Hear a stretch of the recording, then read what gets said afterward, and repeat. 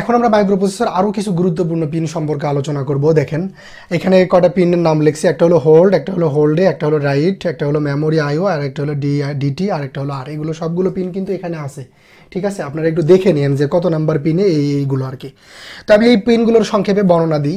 একটা হলো হোল্ড আর একটা হলো কি? হোল্ড এ তো এটা এটা আসলে কি দেখেন, আমি আপনাদেরকে একটা, এর আগে একটা হিন্টস দিছিলাম, সেটা হচ্ছে যে DMA dynamic memory access okay ধরেন এটা যদি একটা মাইক্রো প্রসেসর হয় আমার, এটা যদি আমার মাইক্রো প্রসেসর হয় এটা আমার মাইক্রো প্রসেসর এখন আমার করা লাগতেছে কি, বাইরের কোনো কাজ, ধরেন আমি হচ্ছে যে কি করব মেমোরি থেকে একটা ডাটারে কি করব রিট্রিপ করব, করে অথবা পেন ড্রাইভ থেকে রিট্রিপ করে মানে যে কোনো একটা আইও অপারেশন সম্পূর্ণ করব। ইনপুট এবং আউটপুটের কি করব অপারেশন সম্পূর্ণ করতে চাচ্ছি।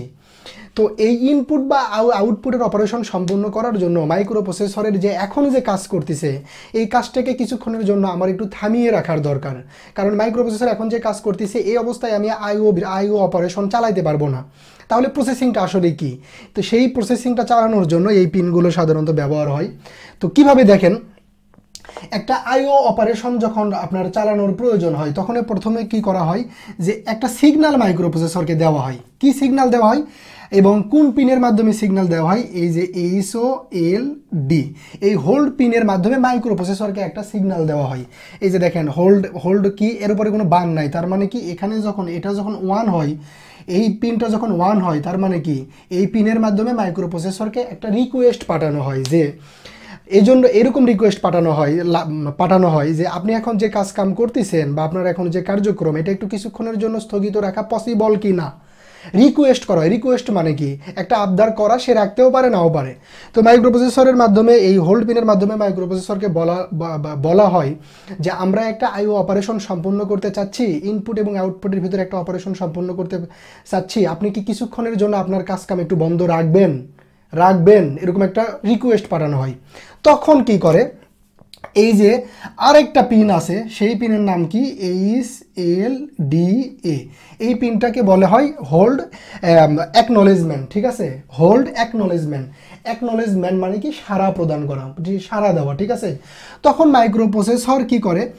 যদি তার পক্ষে যদি তার পক্ষে স্থগিত রাখা সম্ভব হয়, তখন এই যে এই পিনে ওয়ানের মাধ্যমে একটা সারা প্রদান করে যে হ্যাঁ ঠিক আছে, আপনারা আইও অপারেশন সম্পন্ন করতে পারেন, আমি কিছুক্ষণের জন্য কি আছি? স্টপ আছি ওকে কিন্তু এই পিনের মাধ্যমে যদি সারা প্রদান না করে, তখন মানে কি? তখন আবার অন্য সিগন্যাল দেয় মাইক্রোপ্রসেসর যে, না, আমার পক্ষে এখন স্থগিত রাখা, কোনো অপারেশন স্থগিত রাখা সম্ভব সম্ভব না।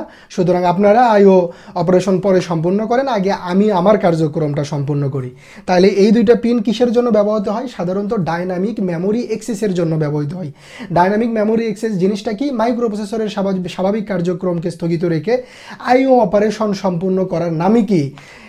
হচ্ছে যে ডিএমএ অপারেশন ঠিক আছে? তো ডিএমএ অপারেশনের উপরে যদি কোনো প্রশ্ন আসে, তাহলেও আপনারা কি করতে পারবেন? আনসার করতে পারবেন। এই পিনের মাধ্যমে কি করা হয়? মাইক্রোপ্রসেসরকে রিকোয়েস্ট করা হয় যে আপনার স্বাভাবিক কার্যক্রম বন্ধ করেন, আমরা একটা আই অপারেশন সম্পূর্ণ করতে চাচ্ছি। আর এই পিনের মাধ্যমে মাইক্রোপ্রসেসর বলে যে হ্যাঁ ঠিক আছে, তুমি করো। এ যদি হোল্ড অ্যাকনোলেজমেন্ট যদি একটা সিগন্যাল পাঠায়, তার মানে হলো যে আই অপারেশন আমরা কি করতে পারব? আশা করি বুঝতে পারছেন। এরপরে দেখেন, এই যে এটা কি পিন এটা হলো রাইট পিন রাইট পিন মানে কি?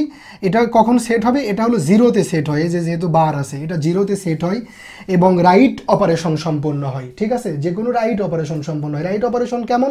ধরেন আপনি মেমোরিতে কোনো একটা ডাটা রাখতেছেন, এটা হলো রাইট করা ওকে মেমোরিতে কোনো একটা ডাটা কি করতেছেন? রাখতেছেন, এটা কি করা? রাইট করা। তো এইরকম কোনো অপারেশন সম্পন্ন হয়।